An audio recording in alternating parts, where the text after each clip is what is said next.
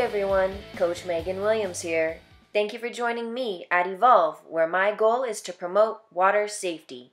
I created this channel to share my knowledge of aquatics in hopes to produce confident swimmers, not just in Los Angeles, but worldwide. Be sure to check out my website at evolve-athlete.com to schedule your training today. I hope you enjoy this video. Today's topic, one of my favorite things, diving. Stand at the edge of the pool with your toes gripping the edge.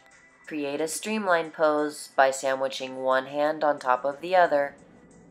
Slowly collapsing forward as your hands, head, body, and then feet enter the water.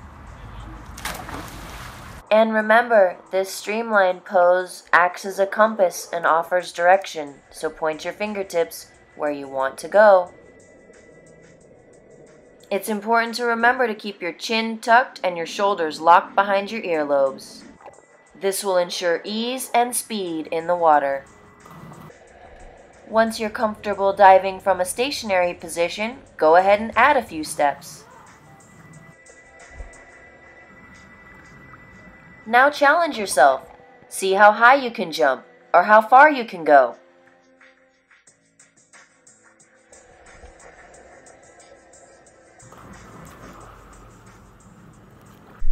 Thanks for watching. If you have any questions, please leave me a comment and I may get back to you directly, or better yet, respond with a video about your topic.